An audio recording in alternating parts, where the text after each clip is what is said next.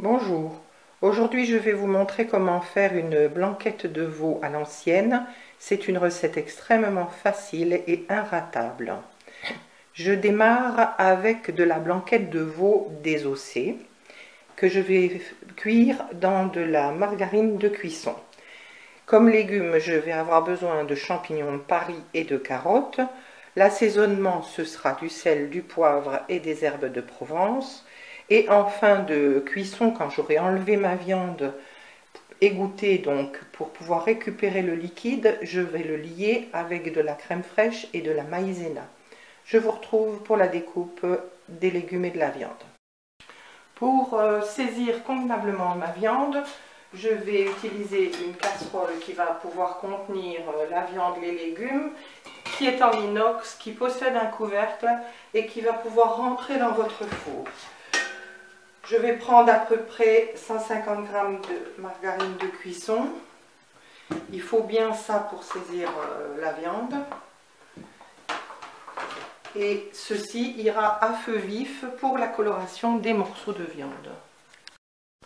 Pour la viande, je vais vérifier morceau par morceau pour éviter d'avoir trop grand, que la cuisson soit uniforme. Pour ce qui est des champignons, je vais utiliser un essuie-tout parce qu'il faut nettoyer les champignons et non pas les laver.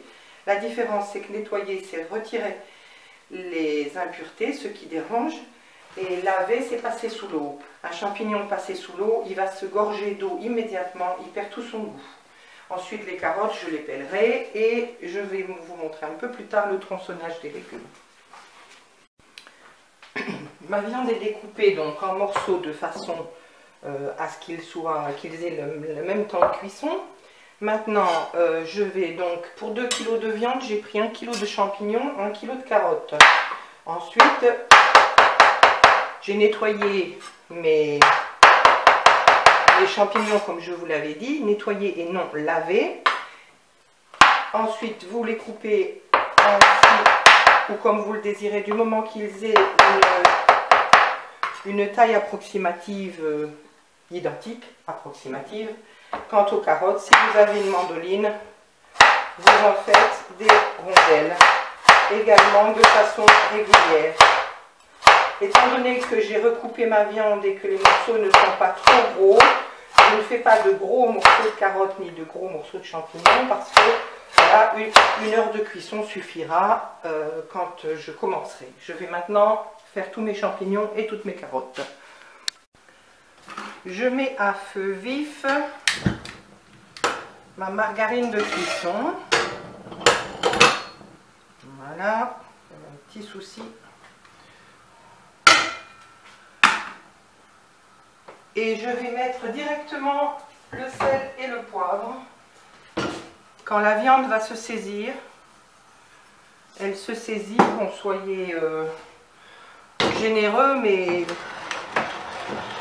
sans exagération quand même. Ici, moi, je pars quand même du principe que j'ai 2 kg de viande, donc il me faut un bon assaisonnement. Au départ, je ne mets que sel et poivre.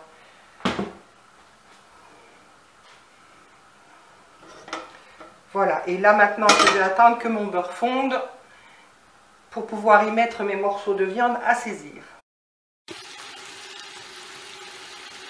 Voilà.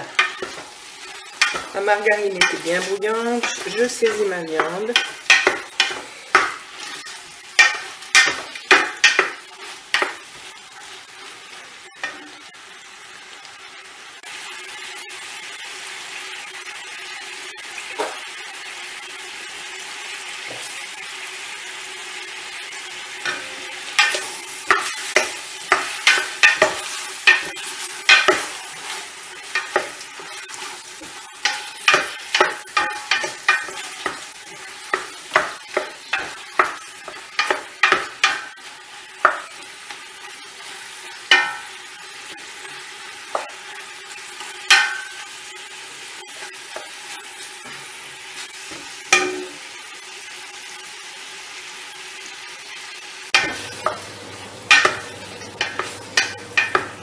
Voilà, quand votre viande est plus ou moins colorée C'est pas trop important pour du veau parce que de toute façon, c'est une cuisson étouffée.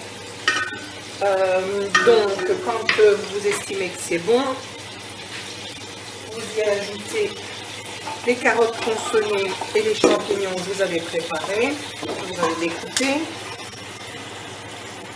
Donc on repart bien du fait que pour 2 kg de viande, j'ai pris 1 kg de carottes et, 1 kg de champignons. Voilà. Là, je vais simplement y mettre les herbes de Provence, étant donné que pour ce qui est du sel et du poivre, j'avais déjà mis ce qu'il fallait.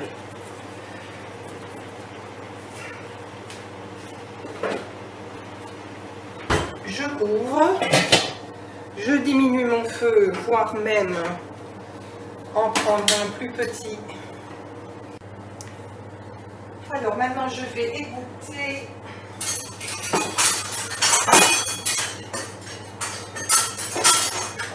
Voilà, je vais prendre la viande.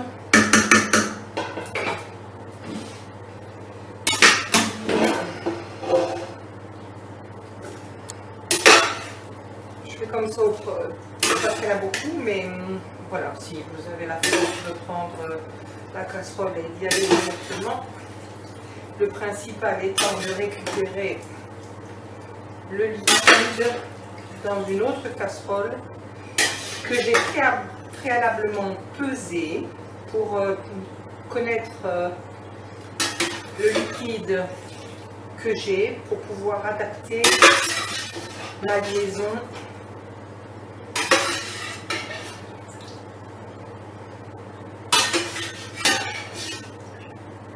donc selon le poids de, de jus que je vais avoir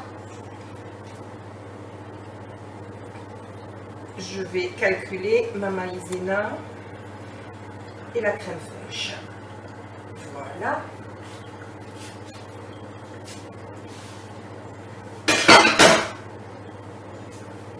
Je vais laisser goûter tranquille. Comme ça, je récupère mon jus après. Donc maintenant, en ayant égoutté la viande qui a cuit grâce à l'humidité des champignons, et que j'ai égoutté. J'ai obtenu, je l'ai pesé avant de vous montrer là, euh, j'ai obtenu un litre de jus que j'ai mis en ébullition. J'ai préparé à ça 50 g de maïzena pour 250 g de crème fraîche. Voilà, le jus de cuisson est bouillant.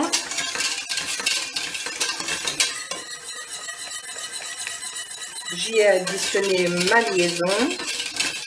En quelques secondes, elle va prendre de l'épaisseur.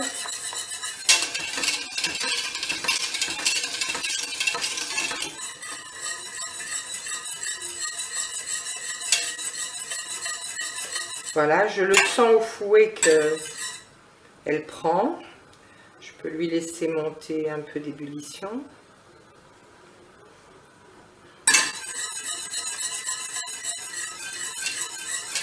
On le sent qu'elle devient onctueuse. Voilà.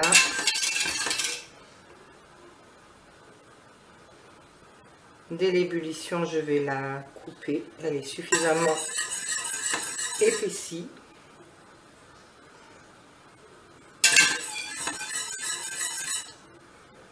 Voilà, je coupe le feu. J'y remets ma viande et mes légumes.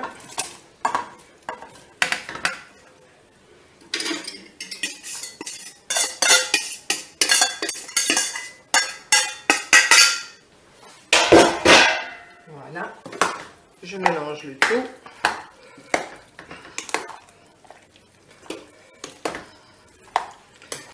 Voilà, vous avez votre blanquette terminée. Vous l'accompagnez de riz ou de pâtes, ou de ce que vous voulez en fait. Voilà. Ici, pour être parti de 2 kg de viande, d'un kilo de carottes, d'un kilo de champignons, j'ai obtenu un litre de mouillement J'y ai donc mis pour la liaison 50 g de maïzena pour 250 g de crème fraîche. Et j'ai obtenu une blanquette de veau pour 8 personnes. Voilà. Merci.